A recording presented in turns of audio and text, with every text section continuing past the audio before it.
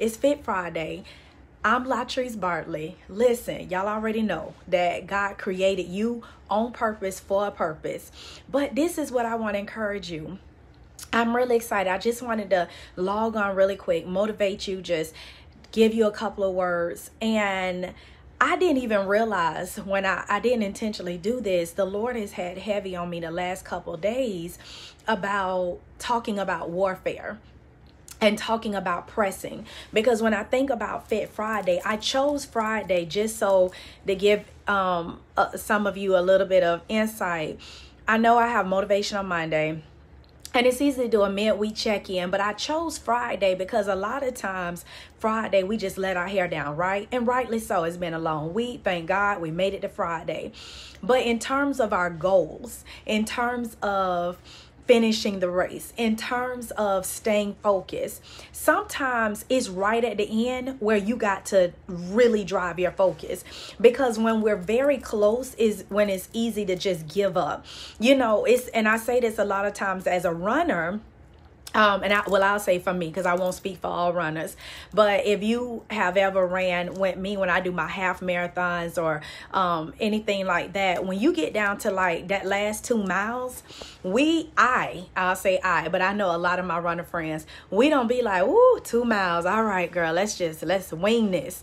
Like you amp up and you be tired, 13.1 miles. But it's something about bringing it in because you want to finish strong. It's like the last two miles, my time matter. I'm fixing to push it. And you give it everything you got because you come across that finish line like I did it. You know, if I done jogged all the way, I'm sprinting across.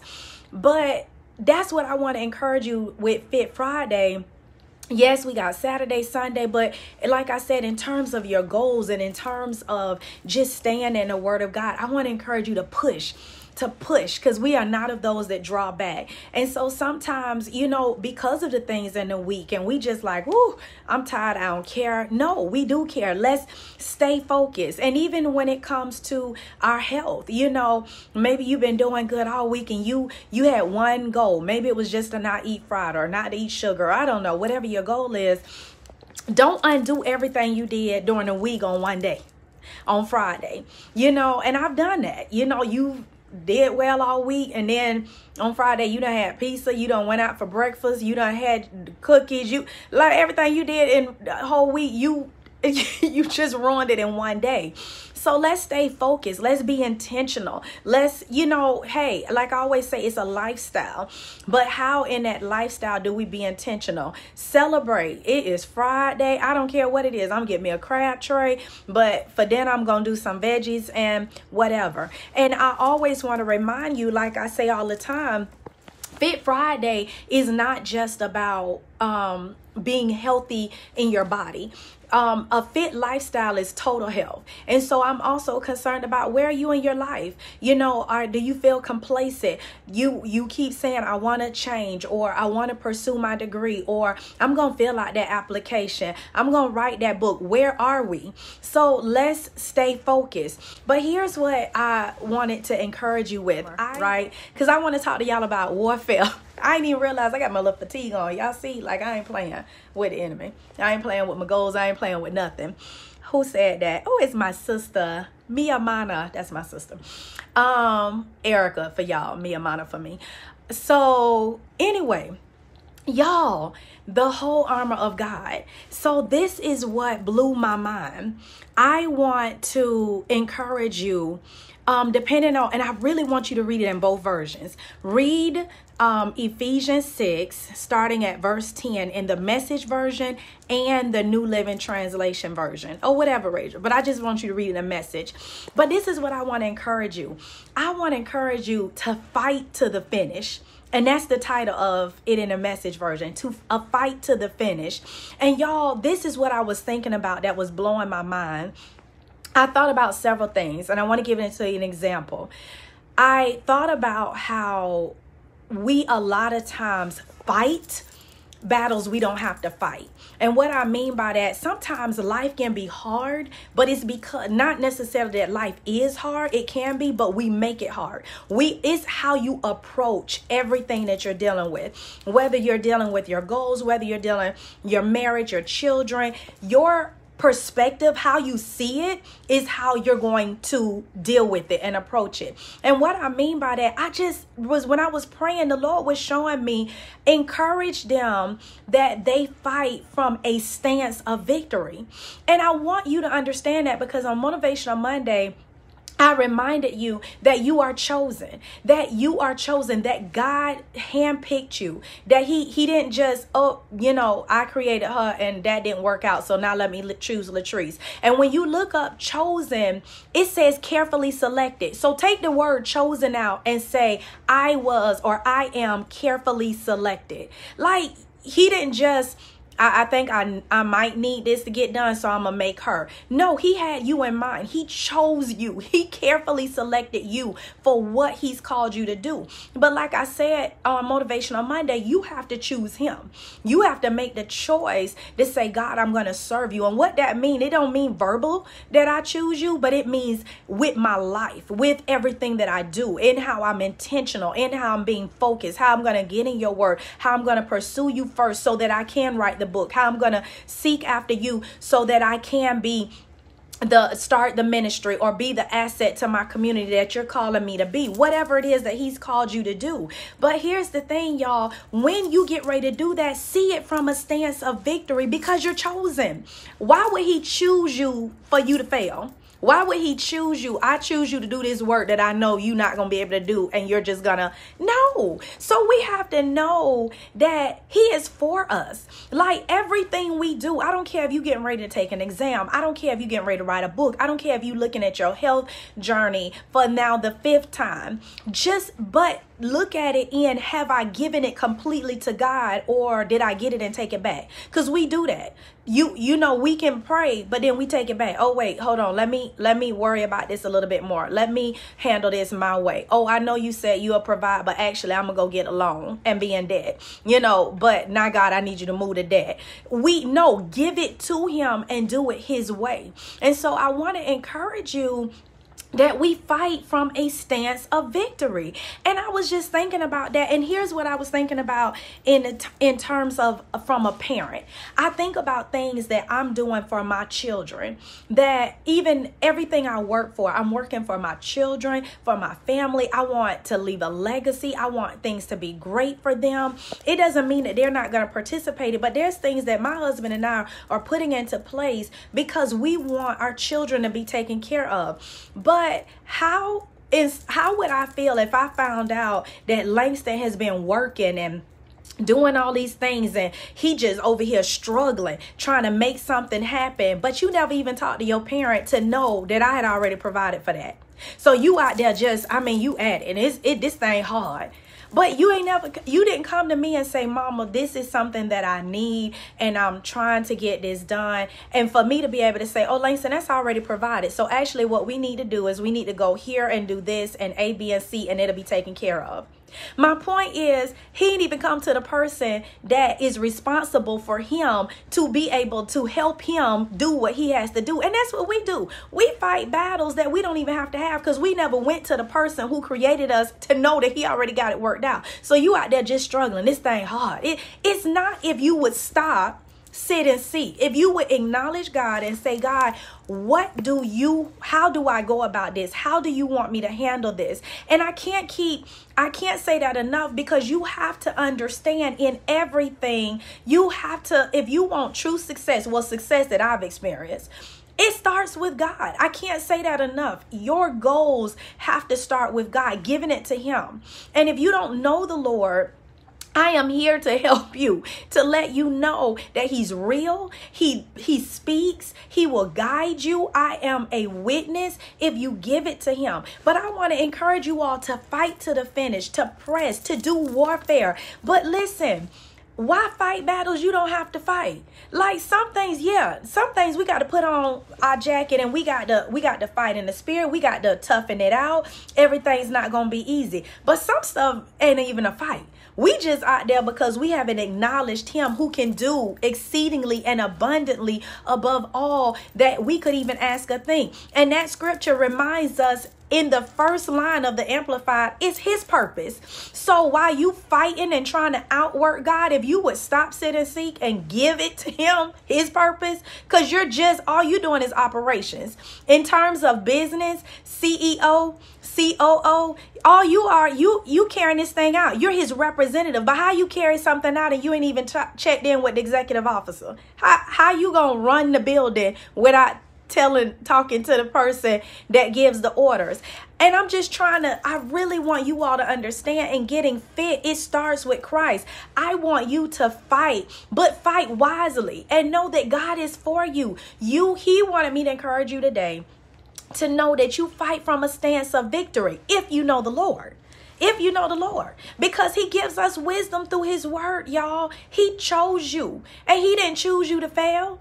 He didn't choose you, but yes, there's a process. Yes, you're going to be made. Yes, there's going to be obstacles. Yes, there're going to be setbacks. But you got to know, even in that, you stand from a stance of victory. I don't care what it looks like. God is for you, and He is able to do more than what you could even begin to think or ask if you give it to Him. But it's in our recognizing Him, our acknowledging Him, that we will get that direction. So I want you to be encouraged on Fit Friday to press in, to fight from a stance of victory, to stop for a moment and say, Lord, this is something that's coming. How do I handle this? For all you know, he could have it out. The Lord could mention one person who say, Oh, I'll take care of that and you was about to go put money into this. I was gonna go do this. And the lord said i already got it. And he reminds us that he will fight our battles. But y'all our part has to be to stand still sometimes to really take time and listen to his voice to seek him out to seek him out more than what we're wanting. We want these end goals but we don't want the process. We don't want the development. We don't want the things that's going to really matter. We just want to get here. Lord, just, you know, make me a millionaire. Lord, prosper me. Lord, give me the house. But then you get the house and it's foreclosed. Or you get there and you can't, you done gave everybody under the sun money that didn't, they can't even handle the money. Like some things, we need to be thankful that we haven't reached it yet because God know we're not even ready for that level of blessing yet. We're not even ready for a whole company. We're not even ready to launch our product because he trying to get us to just be a good steward over our children our home, our marriage, our, you know, but it's like, Lord, give me this. He like, no, I want to see what you do with this right here. And so I just want to encourage you to know that you fight from a stance of victory. God has already worked it out. And so some battles we don't have to fight. So this Friday, I want you to enjoy your weekend. I want you to relax. I want you to rest. Um, Sunday is reset and you know really take some time for yourself but let's not lose focus because that's what the enemy wants. He he waits for when we put our guard down and that's when he pounces but every even if it's saturday you say listen i'm gonna chill on this couch. Give god the day still Tell God, Lord, I'm still, you're still invited in my rest day. I still want to acknowledge you in this day. I still want to acknowledge you on my family vacation. I'm still asking that you would put your divine protection over my family. I still, while I'm sitting here lounging, I want to do right by my body. I'm going to have one bad meal, but I ain't going to have 10. You know, I'm just, I'm trying to make it practical and tell you where I live that we have to be willing to do warfare, but let's fight smart. Fight smart. Like, don't go out. Some of these wars you fight, like I said, I'd be upset if my kids, they out there struggling in my house in my house and I see them crying and it's well I'm trying to do why you ain't come talk to me as your parent? Like I already had that worked out. Your daddy and I already had that taken care of but y'all just went and did something and that's what we do. We out there just struggling. We fighting. Lord help. Lord and he like you ain't even talk to me. You never even asked me to help you. You never even acknowledged me. I already had that taken care of. I've been working on this person for the last 15 years. They been saving money because they don't know who to be a blessing to but when you come to me, I was going to send you to them. And they had to check. Everything don't even have to be about what you have. A lot of times we looking at what I, it's not going to be through you. Sometimes the Lord, he, most times he uses people, but he needs you to move in faith. He needs you to move in obedience. He needs you to seek him. He needs you to pay attention and get in his word. And he has the rest of it. So I just want to encourage you on this Fit Friday. Listen, know that you stand from a stance of victory. And then for those that are watching me, that maybe like i said i i want you to understand that this is a journey. And a journey is defined as just getting from one place to another. And that's what we want to be doing. We want to be growing in our not only our walk with the lord but we want to be growing. Our life should be development. If you feeling stagnated and you feeling like i'm not doing anything no we want growth. And so i really want to encourage you all to i i'm gonna say it every video stop sitting seat y'all listen Stop sitting seat. That's a whole movement, okay? A whole lifestyle.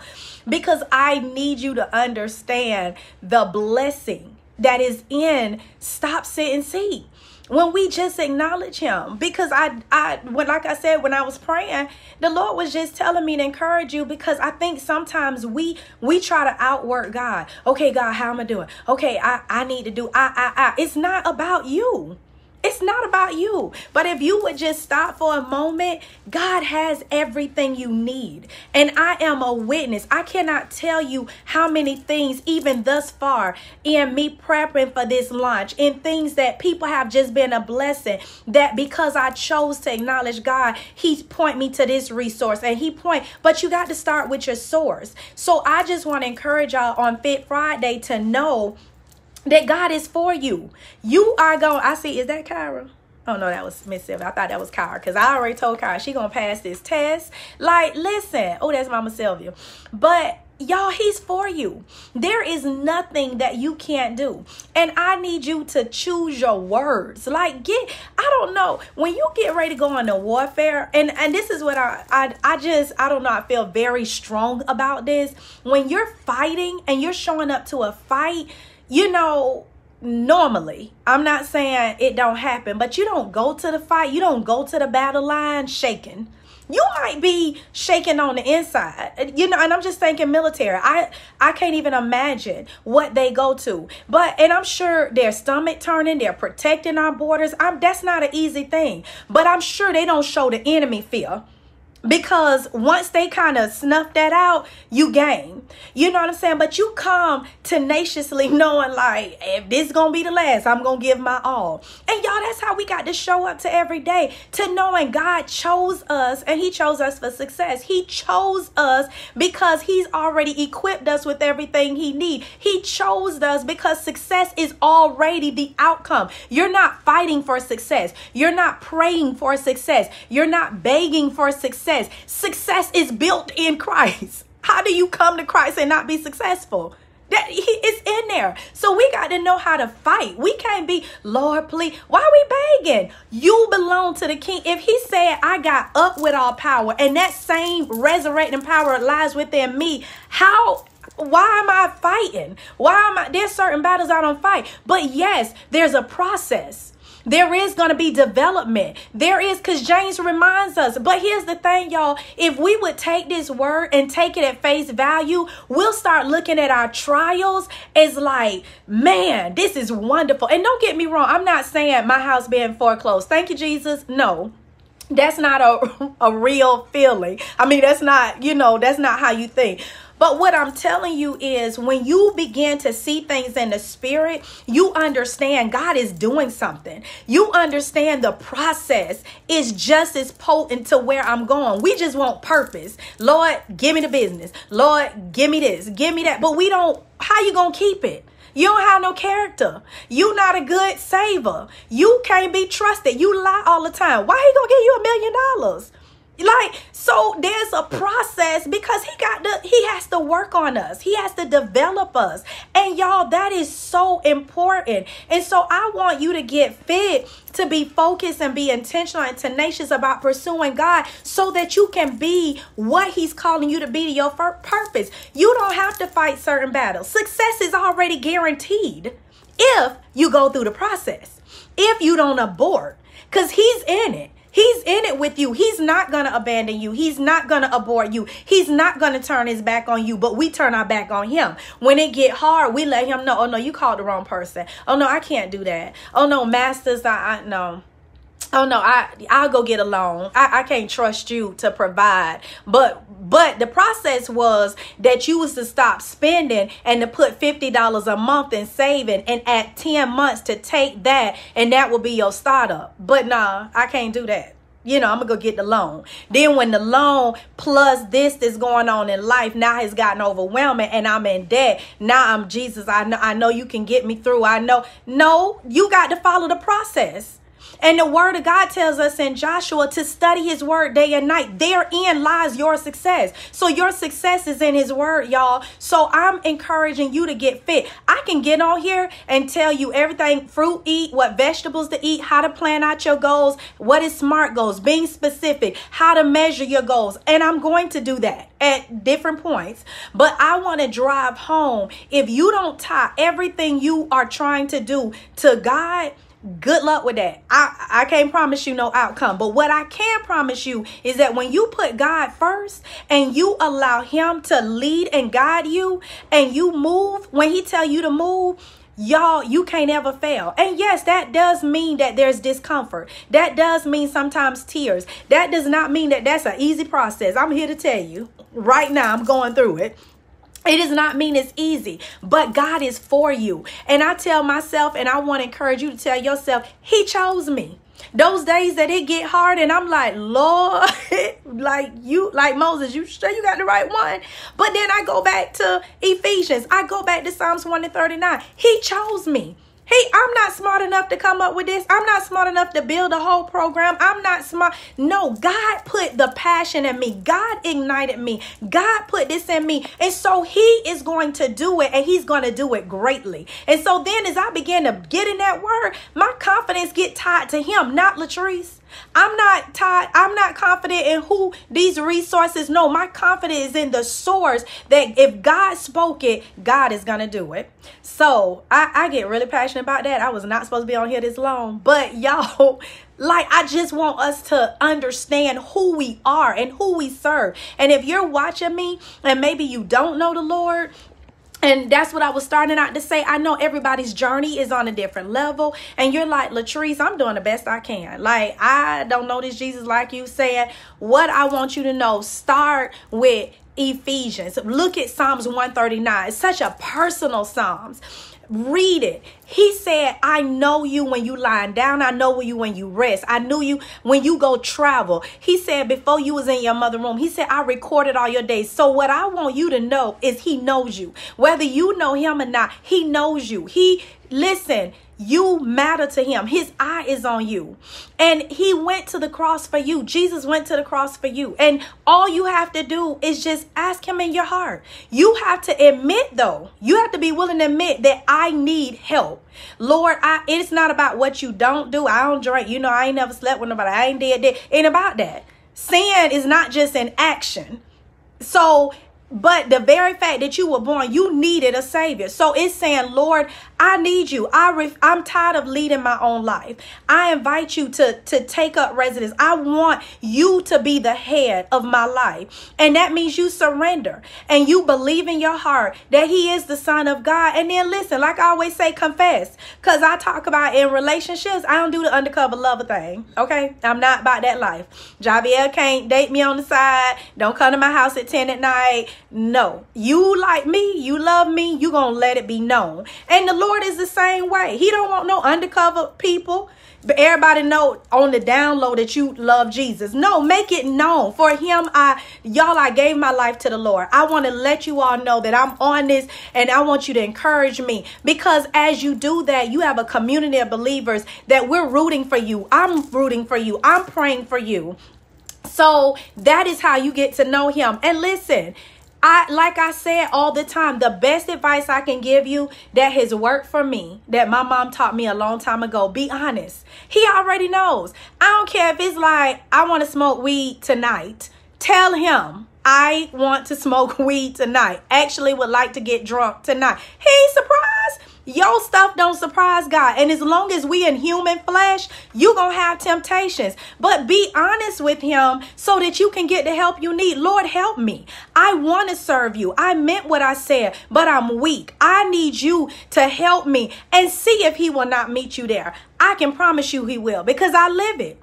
God is faithful, but you have to be honest. So I said all that to say, get fit be focused, be intentional, be tenacious. Remember, you fight from a stance of victory. You don't have to beg for success is built in who Christ is. Like you can't come to the Lord and not be successful. But you got to obey. That's the journey. There's a process to this. Failure to me is failing to obey him, not moving, delayed obedience. But when we make mistakes, and I've made many, even in my business, but y'all, that's education. God reminds me that's He's developing me. And that's what's supposed to happen. So be encouraged. Get fit. Bye.